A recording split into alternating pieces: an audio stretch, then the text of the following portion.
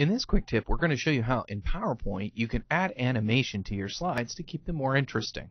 So we have our title slide of some amazing title, and then there's my main first point, including all of these four subpoints. All I have to do if I want to make these progress is I can go to animations and I can pick which kind of an animation I want.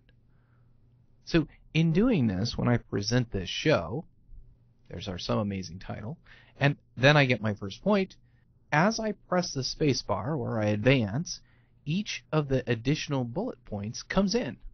What that allows me to do is keep my audience focused on what I'm working on versus them seeing everything all at once. If I want to see how this is set up, I can turn on the animation pane and you'll see I have one, two, three, and four. If I expand this, I can even change whether these come in with a click or whether they come in automatically. So let's say that the first two points I want to come in at the same time.